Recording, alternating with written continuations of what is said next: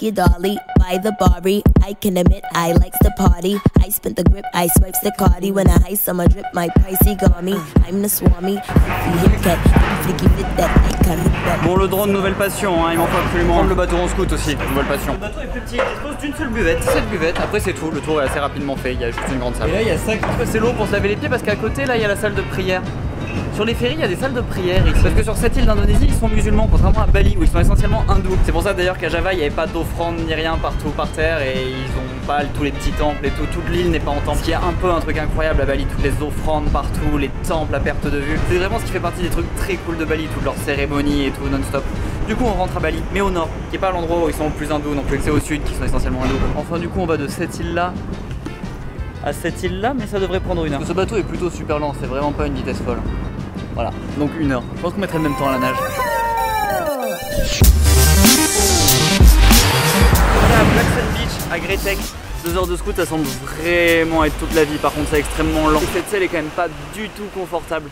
Bref, on est venu là parce qu'on a vu ce TikTok. En vrai, c'est une plage de sable noir comme il y en a plein à Bali. Il n'y a pas du tout besoin de venir jusqu'ici pour la voir. Le sable est pas non plus ultra noir, mais bon, il y a vraiment des palmiers au bord de la plage. C'est ça qui fait joli. Ils sont vraiment bien plantés, parfaitement alignés. On dirait qu'ils ont été plantés par là, mais c'est possible parce que là, pile en face, il y a un petit temple. Plutôt joli ce temple d'ailleurs au milieu des palmiers face à la mer. Bali a vraiment un côté magique, c'est incroyable. Faut que j'arrête de passer à dos de tomber quand même. Bon, en vrai, c'est toujours le même truc. Par contre, en général, à l'intérieur des temples, il y a rien. Il y a ça, mais l'environnement est magnifique. Les immenses palmiers avec de l'herbe verte face à la mer, je crois que ça a fait ses preuves. Je crois que les forêts de palmiers définitivement les plus chouettes quand même. ce qui fait un peu mal au cœur, c'est que cette plage est vraiment pas clean encore.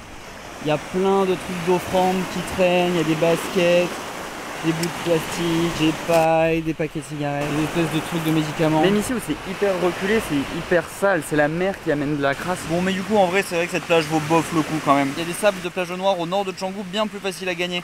C'est là où on peut faire de la moto par exemple Pantai Passo. C'est vraiment facile d'accès, c'est 20 minutes en scout depuis Canggu. Alors que là celle-là c'est plutôt genre 3 heures. Et en plus, ce qui est quand même un peu relou dès qu'on sort des sentiers battus à Bali, c'est qu'il n'y a quand même plus aucun resto de blogueuse. Dans le nord, c'est terminé les avocats toast. Bon, mais du coup, là, je crois qu'on va aller à Sidemen maintenant. C'est encore une heure de scout. Et Sidemen, c'est cool parce que c'est perdu, mais c'est très beau. C'est un peu comme Ubud, mais sans les touristes et sans toutes les attractions hyper touristiques Donc, il y avait encore rien à voir à bouffer, mais on va aller voir ça là-bas.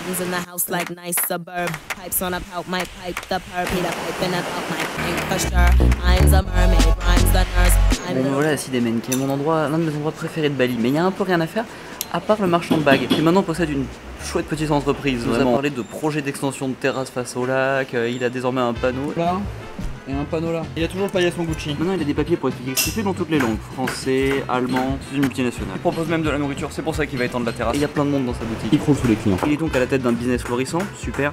Mais du coup, il faut réserver avant, comme on l'a pas fait, et il nous a offert un café pour patienter. Il a un panneau. Ok, première étape. On commence par peser le poids d'argent qu'il faut pour faire une bague. À l'ancienne avec des petits poids, il n'y a pas de. pas de technologie. Yeah, yeah. Ensuite, on va faire fondre l'argent. Ça prend un certain temps. C'est pas facile, on peut le faire. Apparemment, c'est, apparemment, c'est un peu sportif. Excuse-moi. Je vais ça en deux petites cuillères à peau.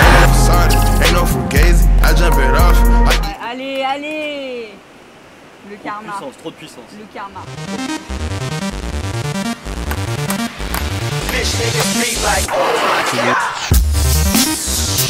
Putain, c'est dur. c'est marrant, il le fait comme si c'était hyper ici. Maintenant, on le passe dans la machine mais avec du papier de verre pour le dessous pour faire des petits points, je crois. Nice.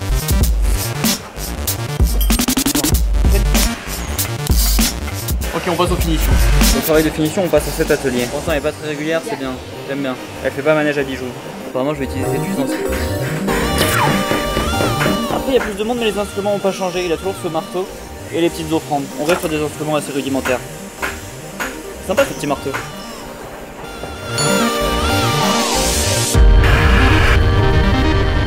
J'ai fait cette bague. Je voulais la nettoyer en entier mais je trouvais ça cool qu'elle soit un peu noire, ça fait un peu plus genre fait avec les dents je préfère. Et on a aussi fait ce bracelet, un peu martelé. Et à l'intérieur il y a des gravures matchy matchy. Et pour les deux on a payé 49 euros, ce qui est plutôt honnête. Et maintenant on va faire deux heures de scout pour retrouver un, un café de blogueuse avec des burgers vegan, tout ça.